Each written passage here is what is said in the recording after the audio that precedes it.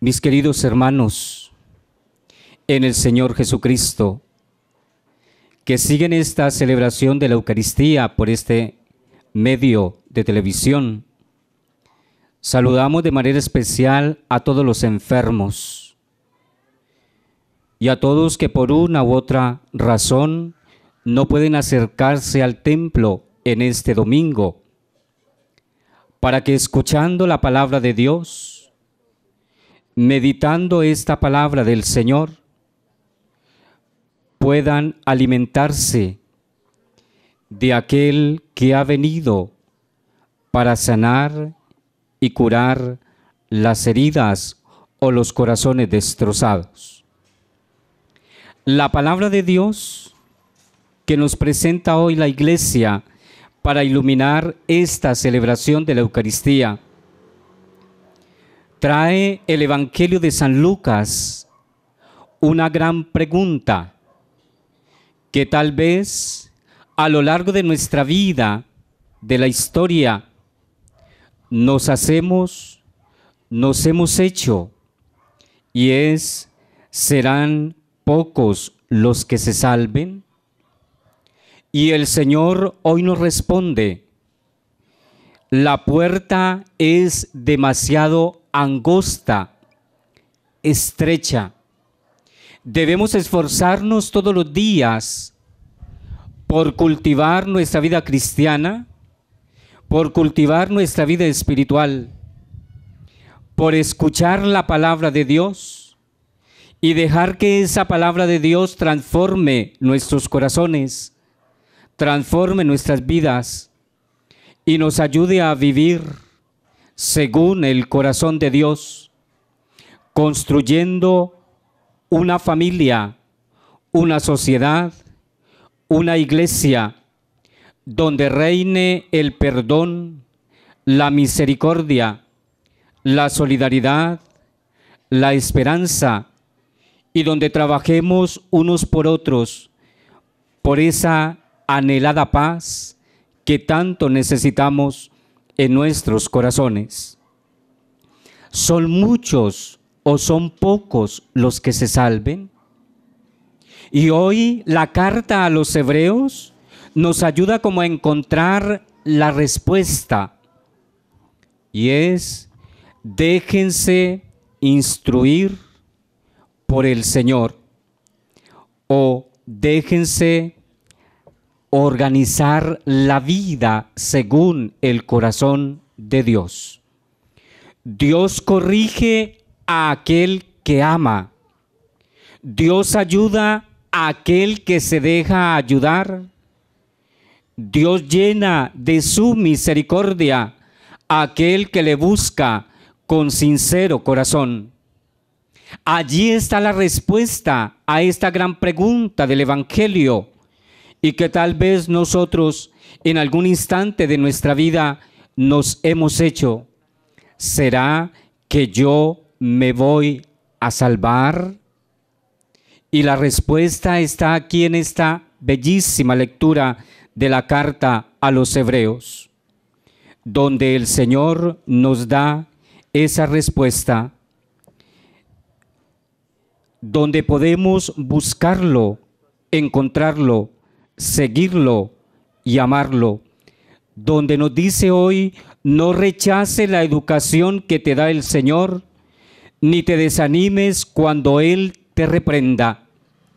El Señor nos instruye, el Señor nos educa todos los días con su palabra.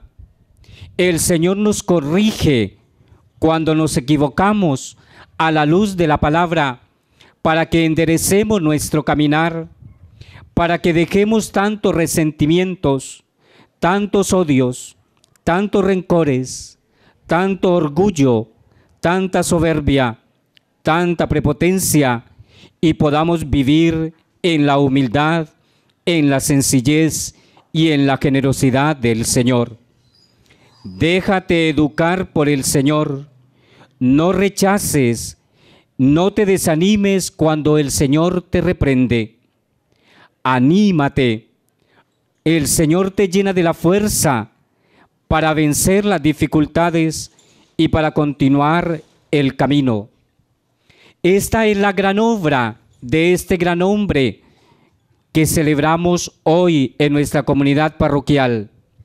San Juan Eudes, sacerdote francés, que se dejó tocar por la palabra del Señor, se dejó educar por esta palabra del Señor y tal vez se dejó corregir, educar y ayudar a la luz de la palabra de Dios para hacer la voluntad del Señor, para llevar a muchos a los pies de Jesús y para así alcanzar la salvación de Dios, no solamente para Él, sino para todos aquellos que lo seguimos con sincero corazón. San Juan Eudes, ese sacerdote francés, cuyo patrono de esta comunidad parroquial nos invita a amar a la bienaventurada Virgen María en su inmaculado corazón, a vivir la experiencia del amor de Dios en el corazón de Jesús y amar, vivir, celebrar la Eucaristía como si fuera la última de nuestras vidas. Eso es dejarnos educar por el Señor y eso es dejarnos corregir por Él, viviendo abiertos a la acción del Espíritu, a ejemplo de San Juan Eudes.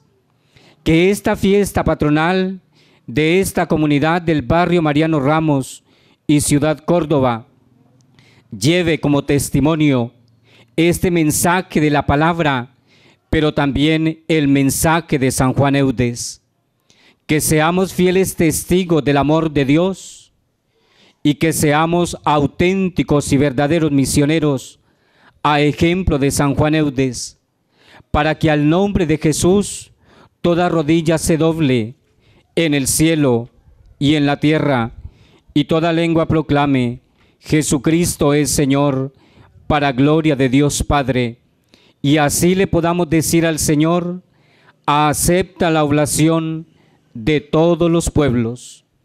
Que le podamos decir al Señor, acepta mi corazón, contrito y humillado, arrepentido de haberte ofendido, pero abierto al perdón, a la misericordia, a la bondad y a la generosidad de Dios. Que esta fiesta de San Juan Eudes, en esta celebración dominical que llega a todos los hogares que siguen esta señal de televisión, sea también el aliciente para sentir cuánto amor nos ha tenido el Padre, para que seamos llamados hijos de Dios y que siempre preparemos nuestro corazón para entrar con las obras buenas al reino de los cielos. Amén.